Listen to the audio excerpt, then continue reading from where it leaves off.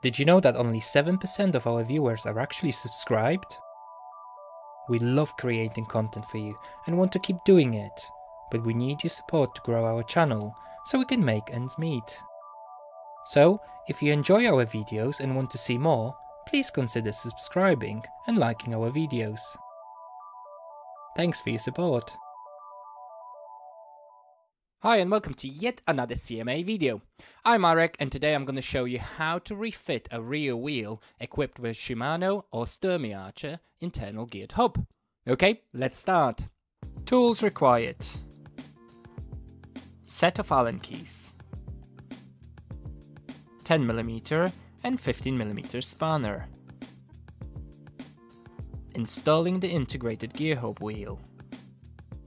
Place the wheel onto the dropouts.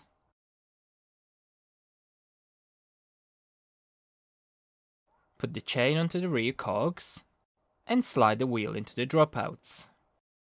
Tighten the wheel while making sure that the chain is properly tensioned. You can watch our video here if you need help with tightening the chain. You can also find a link to this video tutorial in the description below.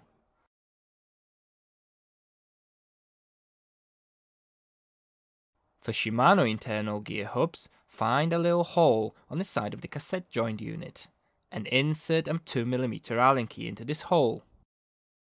Turn the pulley and slide the flat sides of the inner cable mounting bolt into the groove on the cassette joint unit, making sure that the nut is facing outwards. Pull the gear cable and insert the end of the gear outer into the outer casing holder section of the cassette joint bracket. For a Sturmey Archer internal gear hubs, slide the indicator rod through the wheel axle and screw it into the hub finger tight.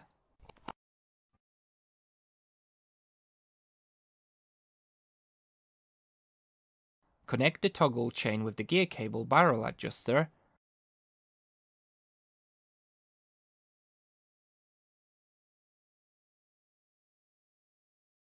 and tighten the indicator lock nut.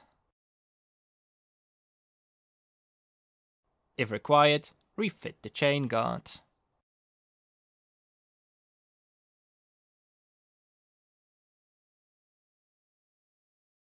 For roller brakes, attach the brake arm to the frame.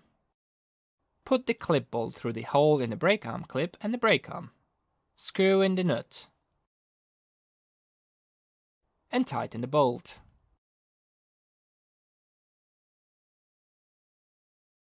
Push and hold the winder unit with one hand, and with the other, grab the inner cable fixing bolt.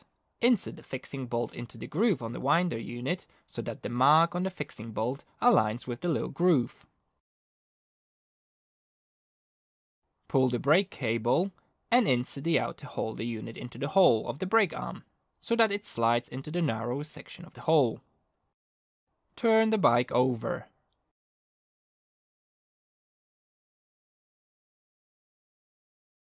For electric bikes, if required, reinstall the battery. If you have rim brakes, then reattach the brake cable. Watch our video here if you need help with this task. I've also left the link to this tutorial in the description below.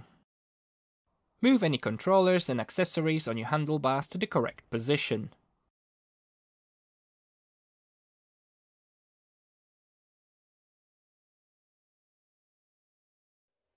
Test the gears and adjust them if required.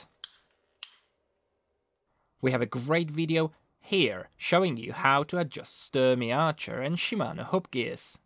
The link can also be found in the description below. Thanks for watching, write in the comments below about your experience with installing the hub gear wheel. If you enjoyed the video and would like to show your support, you can consider making a small donation by clicking on the super thanks icon below this video. Thanks!